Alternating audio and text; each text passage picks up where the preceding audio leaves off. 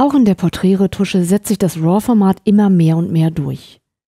Allerdings wird dabei der RAW-Konverter meist nur für die erste Entwicklung genutzt und alle anderen Arbeitsschritte werden dann in einzelnen Aufnahmen in Photoshop weitergeführt. Dabei kann der RAW-Konverter viel mehr. Lassen Sie uns anhand dieses Beispiels anschauen, wie viel der typischen Porträtbildbearbeitung von der ersten Bildentwicklung bis zur Retusche vom RAW-Konverter abgedeckt werden kann. Natürlich startet das Ganze mit der Belichtungssteuerung und gerade bei Hauttönen werde ich mir natürlich auf jeden Fall die Lichterwarnung aktivieren und Sie sehen hier schon, dieses Bild wurde bewusst überbelichtet aufgenommen, damit man einen leichten High-Key-Effekt erzeugt. Im RAW-Konverter habe ich aber bessere Möglichkeiten, das umzusetzen. Deshalb ziehe ich jetzt als erstes die Belichtung erstmal wieder runter, bis die beschnittenen Bereiche bis auf kleine Details verschwinden und helle dann die Hauttöne, also die Mitteltöne, mit dem Helligkeitsregler wieder auf.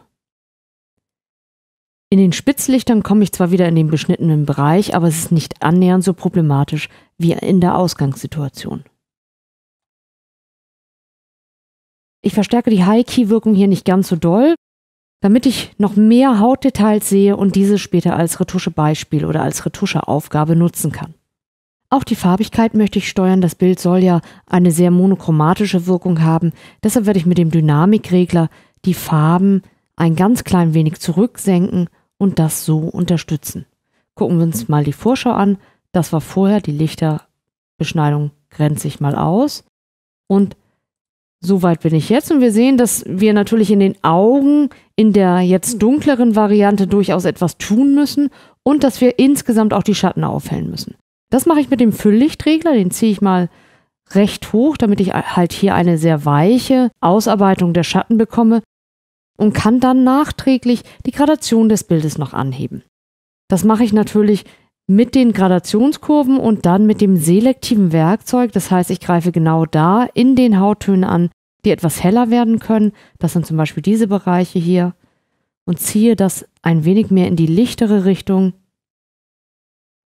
und gehe dann wirklich in die tiefen Details, denn nur diese sollen wieder runtergezogen werden, nur da soll der Kontrast wieder stärker aufgebaut werden. Trotz der Schattenaufhellung sind die Augen immer noch ein wenig dunkel, aber das sind wirklich die einzigen Bereiche, die ich jetzt noch aufhellen möchte. Deshalb gehe ich jetzt in die lokalen Werkzeuge. Bei den Werkzeugen starte ich mit der Hautretusche und deshalb zoome ich mich etwas mehr an die Details heran und muss hier wirklich nur ein paar Kleinigkeiten retuschieren, aber egal ob wenige oder viel Kleinigkeiten, alles funktioniert mit dem gleichen Werkzeug, nämlich dem Bereichsreparaturwerkzeug. Mit diesem kann ich einfach einen Retuschemodus anwählen. Dieser entspricht entweder der Reparieren-Option aus Photoshop, also dem Verhalten des Reparaturpinsels, oder einer Kopieren-Option, die dem Verhalten des Kopierstempels entsprechen würde.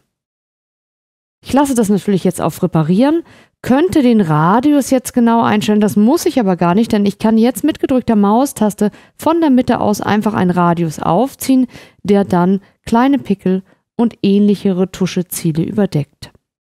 Sie sehen, nach Loslassen der Maus bildet sich automatisch ein kleiner grüner Kreis, das ist der Quellkreis oder die Kopierquelle, die die Reparaturbereiche für Ihre Retusche aus der Umgebung klaut. So, und so kann ich jetzt weitermachen. Ich ziehe halt immer meine Radien auf, achte darauf, dass der grüne Kreis dann aus einem glatten Hautbereich aufgenommen wird und ziehe diesen entsprechend an Positionen, wo sich dann eine bessere Retuschewirkung ergibt.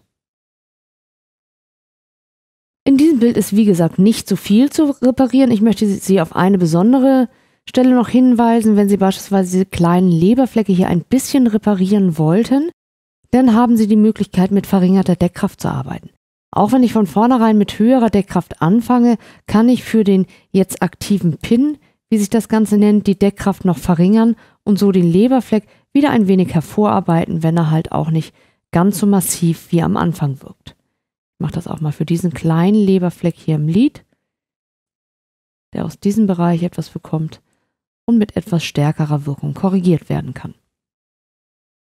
Diese Überlagerung, die sogenannten Pins, können Sie sich über eine Option ausblenden und dann über die Vorschau das Vorher und Nachher miteinander vergleichen. Wenn Sie die Retusche fertiggestellt haben, können Sie mit den nächsten Details weitermachen. Jetzt möchte ich beispielsweise die Augen aufhellen und da nützt es mir, wie gesagt, nichts mehr, nur in den Schatten zu arbeiten, aber im kompletten Bild. Ich muss hier wirklich selektiv arbeiten und dazu nutze ich den Anpassungspinsel, mit dem ich Korrekturen selektiv auftragen kann. Ich klicke einfach auf meine Hauptkorrektur. In meinem Fall ist es die Helligkeit. Ich möchte die Helligkeit in den Augen ein wenig anheben. Klicke auf das Plus-Symbol, damit wird die Helligkeit ein wenig hochgehoben und alle anderen Einstellungen genullt. Dann zoome ich mich mal wieder in meinen Arbeitsbereich rein. Und Sie sehen hier zwei Kreise. Diese zwei Kreise zeigen Ihnen die Werkzeuggröße und die dazugehörige weiche Kante an. Sie sehen das hier unten. Es gibt eine allgemeine Werkzeuggröße, die angezeigt wird und dann eine relative weiche Kante dazu. Ich setze die jetzt mal sehr hoch und die Größe des Werkzeugs relativ klein, damit ich auf jeden Fall nicht mit Kanten arbeite und setze vor allem den Fluss auf unter 50, sodass ich stückweise arbeiten kann, bevor ich bei den 100% bin.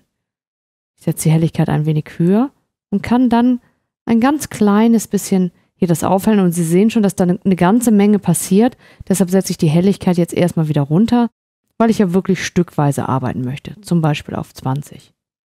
Und ich kann jetzt noch mehrfach in den Bereichen arbeiten, die eine mehrfache Aufhellung vertragen können. So kann ich mit einem Pin arbeiten und trotzdem durch mehrfaches Auftragen die Wirkung in manchen Bildstellen verstärken. Schauen wir uns das mal an in der Vorschau. Das ist das, was ich bis jetzt gemacht habe. Hier kann ich durchaus die Helligkeit noch ein wenig stärker machen. Und da ich jetzt sowieso schon in dem Augenbereich bin, kann ich noch zusätzlich Korrekturen hinzufügen. Dazu gehört zum Beispiel der Klarheitsregler, um das Ganze ein wenig knackiger zu machen also ein bisschen mehr Detailkontrast reinzuarbeiten. Auch die Sättigung kann hier für die Augen ein wenig hochgefahren werden. Und auch das schaue ich mir mal ohne sogenannten Pin an und mit und ohne abgeschalteter Vorschau. Nach meinem Geschmack kann jetzt die Helligkeit noch ein ganz klein wenig zurückgenommen werden oder der Grundkontrast angehoben werden, damit die Tiefen da wieder zurückkommen und dann ist die Aufhellung glaube ich, gelungen. Das ist eine selektive Korrektur. Ich war jetzt schon dabei, den Detailkontrast zu erhöhen. Eine andere selektive Korrektur ist natürlich eine Schärfung, die ich stattfinden lassen möchte. Wenn ich jetzt die Haare, die Augen, die Lippen schärfen möchte, dann kann ich das über eine Verstärkung der Bildschärfe machen. Ich klicke auch hier auf ein Plus, aber erst nachdem ich gesagt habe, dass ich einen neuen Pinsel, eine neue Anpassung erstellen möchte. Dann klicke ich auf Bildschärfe und weiß, ich arbeite jetzt mit erhöhter Bildschärfe. Ich mache das gleich mal ein wenig höher und aktiviere auch den Klarheitsregler, um hier gleich zu sehen, wo ich Änderungen auftrage. Ich gehe über die Haare rüber, um hier gleich den Kontrast zu verstärken und setze in diesem Fall gleich den Fluss auf 100. Ich möchte also von vornherein gleich die volle Wirkung auftragen mache das mal nur in Details und zoome mich dann wieder in das Bild weiter rein.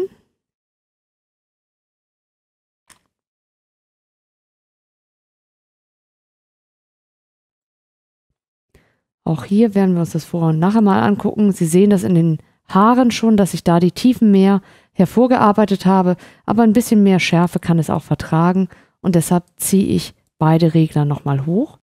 Und eventuell kann ich mit der gleichen Einstellung auch die Augen noch nachschärfen und auch diesen Bereich noch zusätzlich schärfen. Das gleiche mache ich für die Augenbrauen und auch für die Lippen.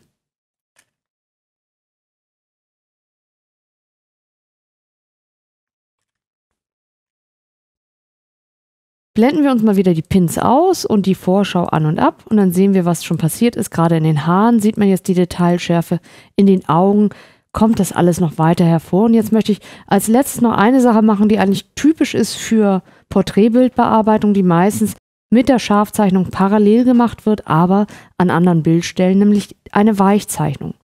Wenn ich die Hauttöne an bestimmten Stellen noch ein wenig weich zeichnen möchte, dann sehen Sie, für die partielle oder lokale Bearbeitung habe ich hier keinen Weichzeichnungsregler. Aber das, was ich eben in die positive Richtung gemacht habe, nämlich den Klarheitsregler, also den Detailkontrast anzuheben und die Bildschärfe, kann ich natürlich auch in die negative Richtung machen.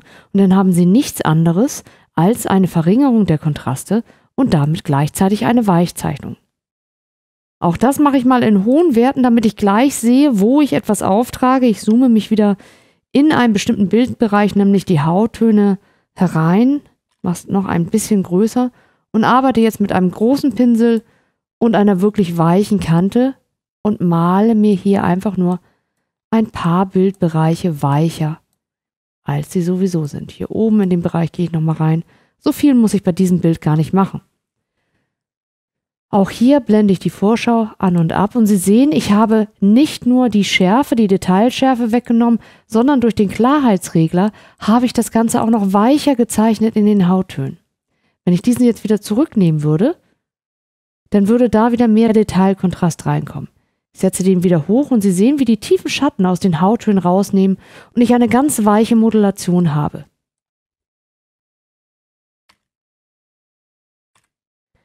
Mit diesem Bild bin ich fertig. Ich gehe mal aus diesem Werkzeug raus und schaue mir die ursprüngliche Bildversion an, also gehe auf die Bildeinstellung und Sie sehen, von wo wir kommen, einen etwas überbelichteten Bild mit Details und wir haben jetzt ein ausgeglichenes Bild mit trotzdem weichen, hellen Hauttönen, mit Detailretusche und aufhellenden und scharf gezeichneten Zonen erreicht.